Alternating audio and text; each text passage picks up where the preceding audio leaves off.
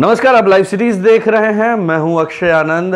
राजगीर महोत्सव का शुभारंभ हुआ। सीएम नीतीश कुमार ने इसका शुभारंभ किया इस अवसर पर कई नेतागण।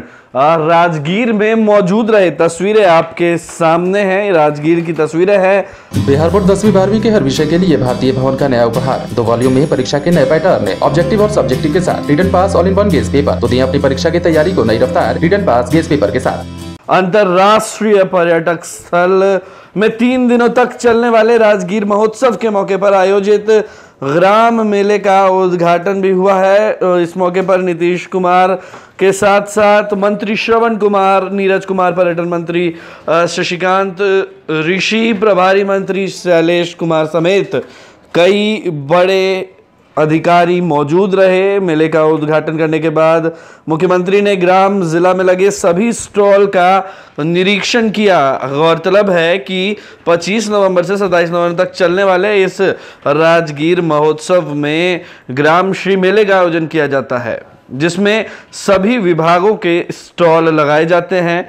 इस बार ग्राम श्री मेले में यातायात संबंधित, जल जीवन, हरियाली संबंधित पर्यावरण, वन एवं जलवायु परिवर्तन संबंधित समस्याओं पर विशेष ज़ोर दिया जाता है।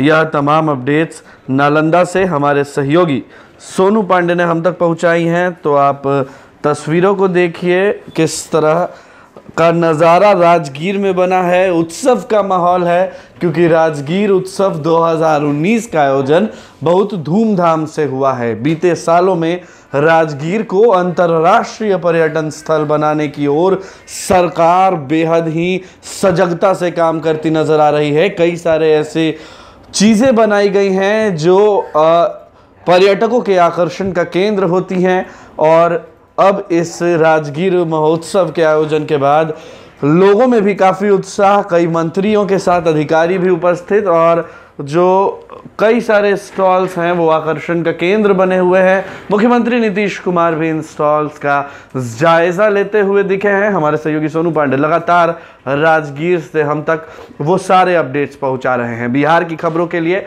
आप हमारे चैनल पर स्क्रॉल डाउन करके उन्हें वीडियो के माध्यम से देख सकते हैं। खबरों को पढ़ने के लिए लाइव सिटीज़ डॉट इन हमारी वेबसाइट पर जाएँ। फेसबुक पेज को भी लाइक करें चैनल को सब्सक्राइब ना किया हो तो बेल आइकन दबाकर सब्सक्राइब ज़रूर करें।